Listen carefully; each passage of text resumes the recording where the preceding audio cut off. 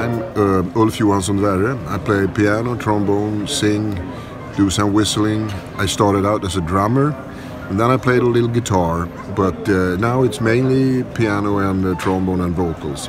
And I love doing that. The piano and trombone are far apart. Uh, they satisfy different parts of me, and it's wonderful to have one really technical instrument with the whole uh, sort of whole music theory in my hands, and the other one, trombone, is like a prolongation of uh, the vocals.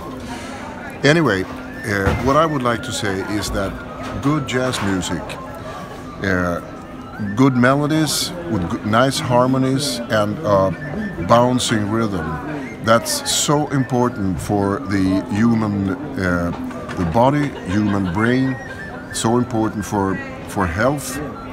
It provides people with um, uh, skills in socializing. Uh, it opens your your it opens your heart, it opens your brain, and just after 20 minutes of playing or listening to good music, things are starting to change in the brain.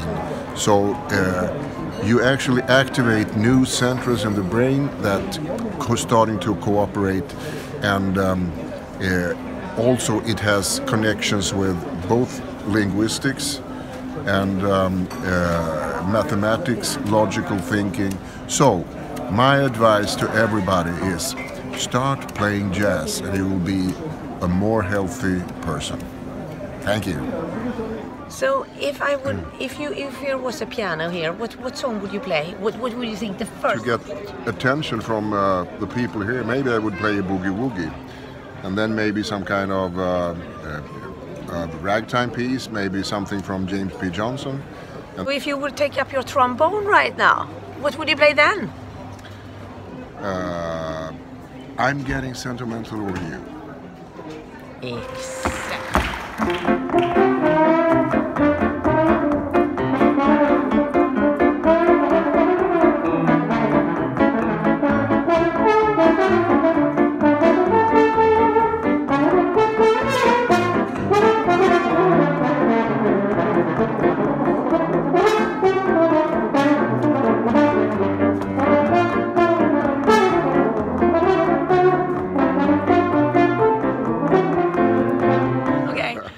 Question to you. okay. Who was your uh, who was your biggest inspiration on uh, trombone?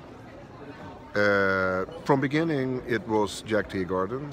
I, I, I, had the same sty stylistic development as jazz history.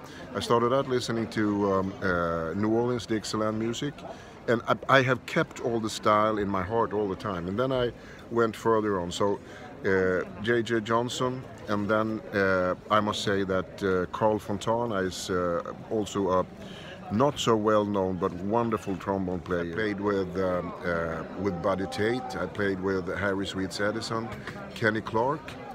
Kenny Clarke was uh, a co-leader at the University of Pittsburgh where I attended as a, a scholarship student. And uh, well, he said some very nice things to me that really mattered. He said that you are the best. That's what you say. no, no, but on the Newport Jazz Festival, we played together in a quintet session, and uh, he was very nice too.